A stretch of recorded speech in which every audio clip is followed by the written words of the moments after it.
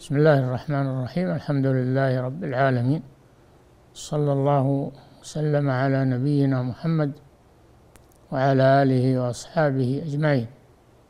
هدي النبي صلى الله عليه وسلم مع القرآن أنه كان يتلقاه من جبريل عليه السلام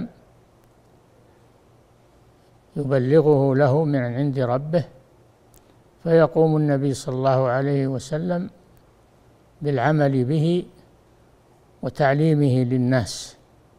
هكذا كان هديه مع القرآن. يعمل به ويعلمه للناس. فيكون الناس المسلمون يمشون على هذا الهدي النبوي الشريف. وقد قال صلى الله عليه وسلم خيركم من تعلم القرآن وعلمه. فهم يتعلمون القرآن ويتلقونه عن حملة القرآن ويبلغونه للناس فيعلمون الناس هذا القرآن. هكذا كانت أمة محمد صلى الله عليه وسلم. العلم والعمل لا سيما مع القرآن الكريم الذي أنزله الله هدى للناس.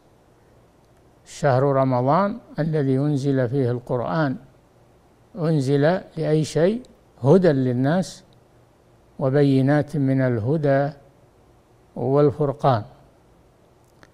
فكانوا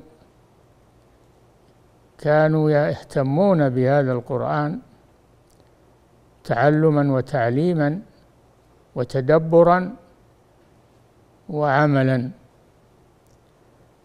ويقرؤونه كما أنزله الله على نبيه محمد صلى الله عليه وسلم. فلا يكفي أن القرآن ولا غيره من العلم لا يكفي أنه يقرأ من الكتب ويتلقى من الكتب.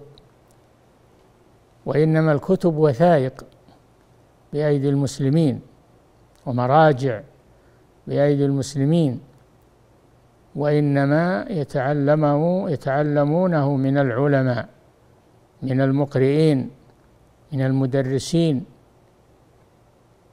ويتدبرون معانيه ويعملون بأحكامه. ويهتمون به تلاوة وتدبرا وعملا.